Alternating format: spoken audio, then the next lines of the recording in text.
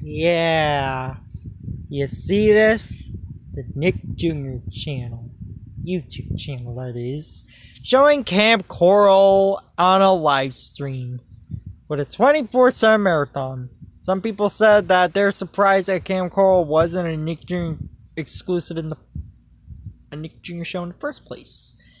Well, still seeing about this on Kamp Koral. It, it, it's a thing that, that exists, in my opinion. I don't care about Kamp Koral. They're doing a live stream on it with SpongeBob's Kamp Koral Summer Adventures. Now, Kamp Koral did air on the Nick Jr. channel before, and they did upload a compilation of it.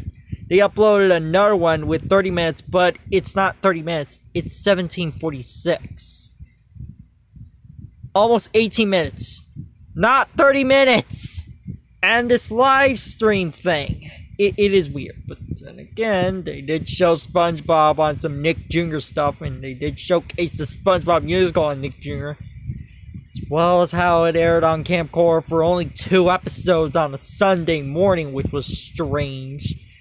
But yeah, this is what it is. They have a live stream of SpongeBob on Kamp Koral on the Nick Jr. YouTube channel, and it is just weird. Anyway, guys, this is Kawaiimation signing off. Peace.